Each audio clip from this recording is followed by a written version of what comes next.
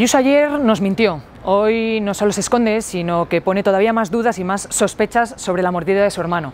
Primero porque evita hablar de todos los contratos. Segundo porque deja entrever que su hermano utilizó la empresa de su amigo como testaferro. Tercero porque reconoce haber incumplido el código de altos cargos de la Comunidad de Madrid. Y cuarto porque admite que compraron mascarillas por encima del precio del mercado. Esta situación comienza a ser absolutamente insostenible y no tenemos absolutamente ninguna confianza de que las contradicciones y mentiras vayan a cesar. Esto nos recuerda a los múltiples casos que hemos estado viviendo en la Comunidad de Madrid en el pasado y que nunca, nunca han acabado bien.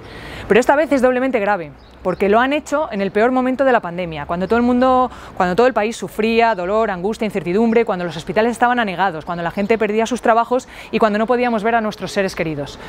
Madrid no se merece este bochorno. Madrid no puede estar siempre a la espera de los que no saben gobernar sin mordidas.